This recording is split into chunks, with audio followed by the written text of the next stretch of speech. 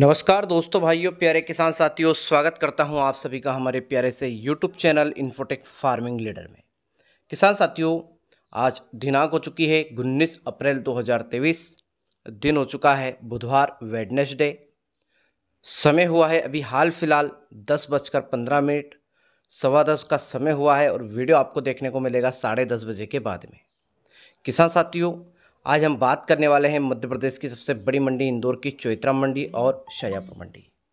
दोनों मंडियों में आलू, प्याज, लहसुन तीनों जिनसों की कितनी आमदनी रही दोनों मंडियों में? और शुरुआती नीलामी का दोनों मंडियों का क्या रेट निकल कर आया है?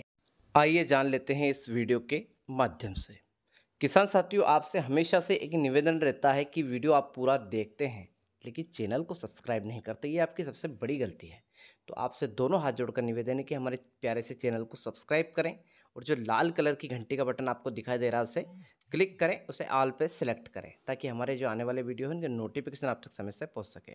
किसान साथियों फाइनल भाव का वीडियो आपको आज शाम को छः बजे देखने को मिलेगा, क्योंकि आज हम एक ही वीडियो डाल रहे हैं अभी, इसलिए शाम को छः बजे आपको एक फाइनल भाव का वीडियो ज़रूर देंगे। और जिसके अंदर बात होगी सरकार के संबंधित, वो वीडियो ज़रूर देखिएगा। किसान साथियों, सबसे पहले बात कर लेते हैं शाजापुर मंडी की। शाजापुर मंडी की अगर आवक की बात की जाए तो प्याज की आवक है दस से पंद्रह हज़ार पैकेट लहसुन की आवक है दस से बारह हज़ार पैकेट आलू की आवक है दो हज़ार पैकेट बात कर लेते हैं आज के ताज़ा भाव की शाजापुर मंडी के। तो आलू हमारा जा रहा है साढ़े ग्यारह बारह, साढ़े ग्यारह बारह रुपये ज्योति शाजापुर मंडी में। वहीं अगर बात करें किसान साथियों, बाकी जितने भी प्रकार के आलू है, वो भी सब बारह रुपये के अंदर अंदर है। लहसुन की अगर बात करें तो लहसुन हमारी एक्सपोर्ट क्वालिटी की जो सुपर लहसुन है शाजापुर मंडी में चार हज़ार से पचपन सौ रुपये के बीच में है। पचपन सौ से लगा के बासठ सौ के बीच में भी कुछ लोट बिके हैं। बात कर लेते हैं प्याज की। नासिक प्याज मंडी से धीरे धीरे गायब हो गया है। कुछ आ रहा है तो पाँच रुपये छः रुपये तक जा रहा है। नेफिट प्याज की अगर बात करें तो नेफिट प्याज में जो एक्सपोर्ट क्वालिटी का सुपर प्याज है, वो बिक रहा है आठ सौ रुपये से लगा के साढ़े नौ सौ प्रति कुंटल के हिसाब से। इक्का दुक्का लाट अगर ऊपर गया तो अभी उसकी जानकारी प्राप्त नहीं हुई फाइनल भाव के वीडियो में आपको जानकारी दे दी जाएगी। चलिए अब बात कर लेते हैं इंदौर की चौतरा मंडी की। इंदौर की चौतरा मंडी में लहसुन की आवा के चालीस हज़ार पैकेट आलू की आवा के पंद्रह हज़ार पैकेट और प्याज की आवक है बीस हज़ार पैकेट बात कर लेते हैं तीनों दिन कैच के ताज़ा भाव की। तो आलू की अगर बात करें तो ज्योति तेरह सौ रुपये बिक रहा है, सोना चिप्स हमारा वो भी तेरह सौ, साढ़े तेरह सौ रुपये तक टच हो रहा है। बाकी सभी साढ़े बारह सौ के अंदर अंदर।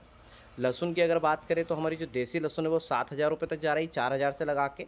जी टू ऊटी और रियावन सिल्वर छः हज़ार से लगा के साढ़े सात हज़ार रुपये तक बिक रही है। रियावन सिल्वर एक आध लाट ऊपर बिका है, ठीक है? बात कर लेते हैं प्याज की तो प्याज हमारा किसान साथियों, जो नेफिड प्याज है वो एक हज़ार रुपये आज भी टच हुआ है इंदौर की चौतरा मंडी में।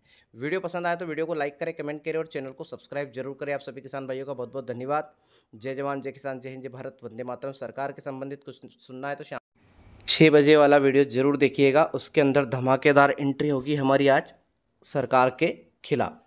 चाहे कोई भी सरकार के पक्ष में हो, मुझे उससे मतलब नहीं है। विपक्ष भी मज़बूत होना चाहिए और मैं विपक्ष में रहना चाहूँगा सरकार के, चाहे सरकार कांग्रेस की हो या फिर भाजपा की हो। मुझे उससे कोई फ़र्क नहीं पड़ता।